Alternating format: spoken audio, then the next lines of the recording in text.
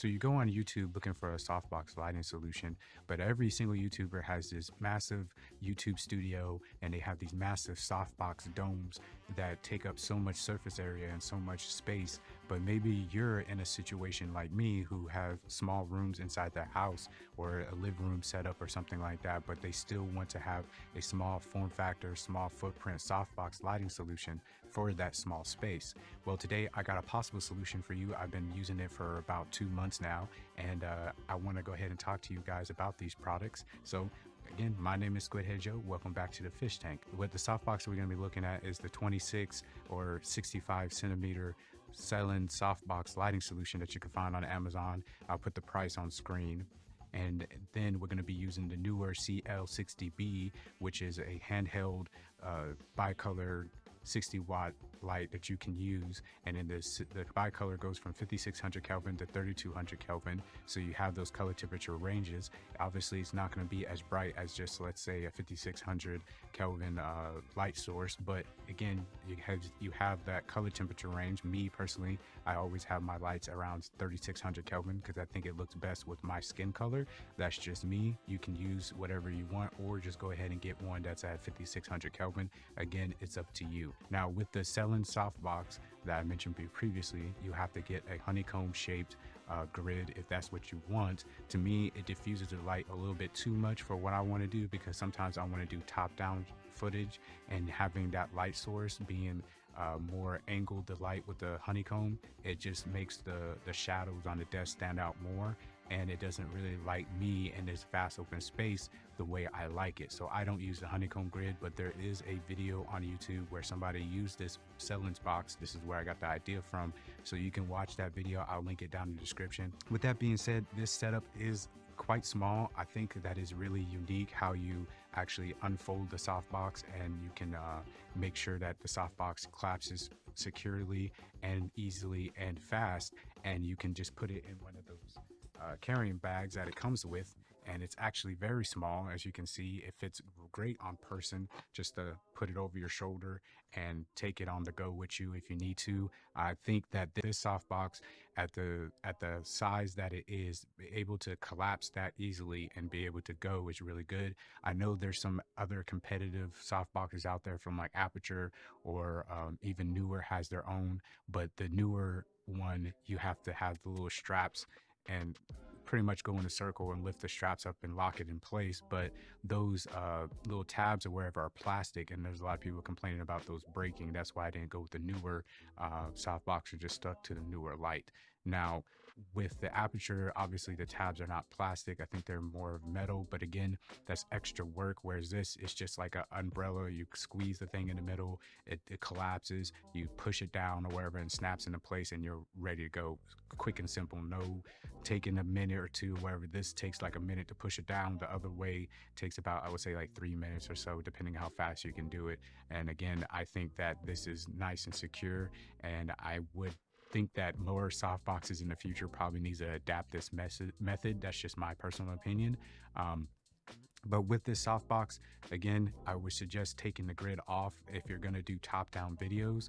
If you're not, and you're just going to be doing talking head videos, then yeah, you can angle that light a little bit more with the honeycomb. But overall, I think I paid 160 something dollars. So I would say under $170.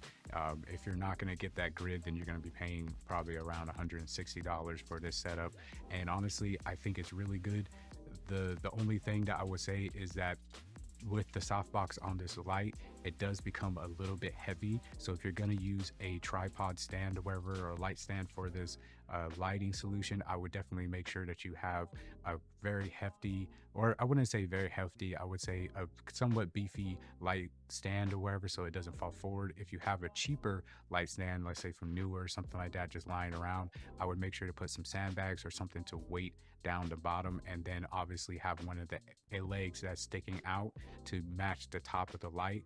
So the light, if it's leaning forward or wherever, it has that leg in the front um, and if you don't do it that way, then obviously put some bags around it. But I would suggest just doing it that way. That's just my personal opinion. You can do what I done and actually get these uh, the same kind of make of the tripod light stand but it actually attaches to your desk. I'll have those linked in the description as well to the products I'm talking about today. But um, I have it clamped to the desk. It does weigh down the light a little bit. So you got to make sure that you tighten the fixtures to the actual pole itself and make sure it's in there nice and tight pretty much. Um, but I would say that it still is going to give a little bit of weight. So just make sure you're careful to tighten the actual clamps that clamp to the light pole and um, that allows the light to maneuver up and down because uh, just be careful with it, but make sure they're tight just because those are our plastic, even though they're not the cheapest plastic in the world, is still plastic. So you don't want that to crack or bust on you because I have yet to find a replacement to be able to fix the bottom wherever that actually clamping mechanism because I've talked about my previous experiences with Neewer light fixtures and soft boxes like the ones that I've been showing throughout the video um, and I'll link that video up above as well so you can watch that in comparison to what we're talking about today. But with those lights you have to be careful because um, like I said the manu- the the actual fixture that connects to the poles is like I said made out of plastic it's not the sturdiest or du- like very durable, but if you could find a way to re- get replacements for that, or you know contact Neewer if it breaks or something like that to see if you can get a replacement for the bottom or something like that. But to my knowledge, I have not seen a replacement out there. Luckily, I have different Neewer lights or wherever that all have the same mechanism. So if this one happens to break on me, I can replace.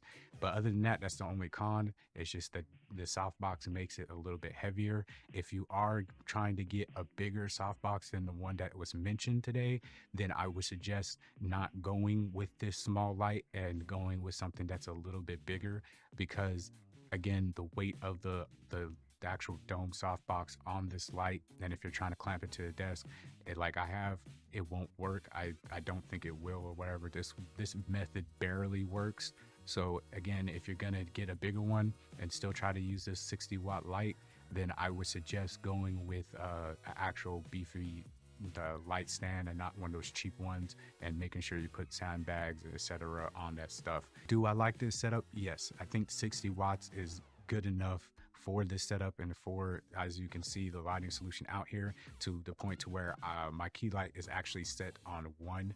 I don't even really like need it too much or whatever not the key light but the the side light or whatever to fill i really don't need it. I could just use it like this but just to brighten up a little bit and again trying to get rid of the shadows if I need a top down uh, shot. Turning this light all the way up to 100 for me is it's not even necessary. In my personal opinion a 60 watt light will be perfectly fine. Unless you're going outside and trying to fight some kind of other bright light sources then I would say maybe go with a 100 watt version if you can find a 100 watt small light like this um, to use. But as far as the money the the value that you get out of it, like the effectiveness of it, and the form factor, having that small footprint. I think these tech tick off all the lighting solutions you would need.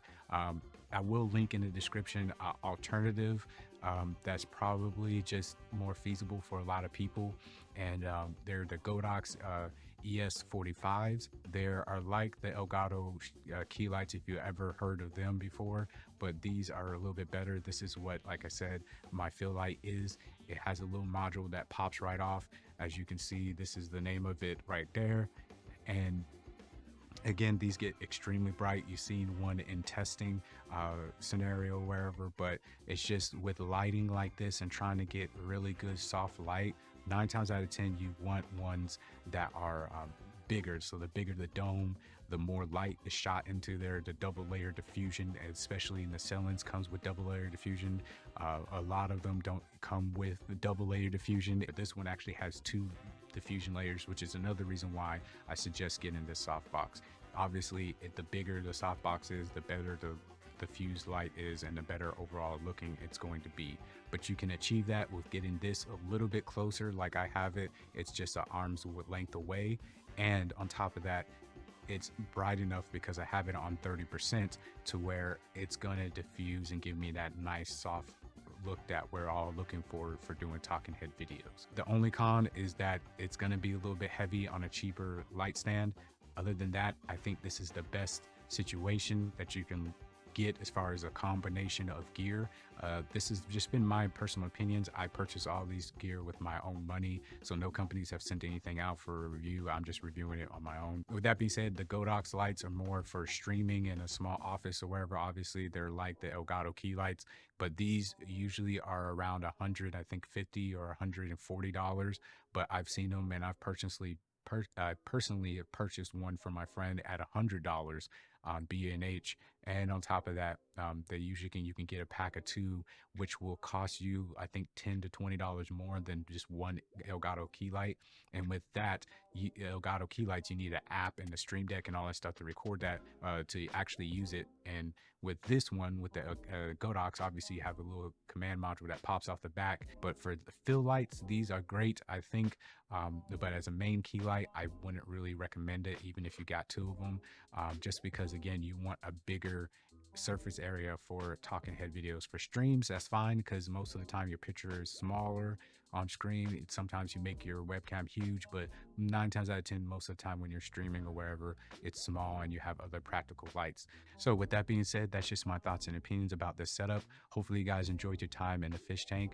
And uh, if you're wondering if you can use this for a YouTube studio or live stream setup or anything that you need in a small space, I say yes, yes, and yes. Just make sure that you are like I said, handling the light fixture correctly and being very tentative to it and making sure that you have the sandbags on if you are going to use a light stand. With that being said, all the products mentioned in today's video could be found in the description down below. And hopefully guys enjoyed your time in the fish tank. My name has been Squidhead Joe. I'll see you guys in the comments. If anybody has any, I'll try to respond and take care. Have a squidtastic day. God bless you and yours. Deuces, everybody. Much love.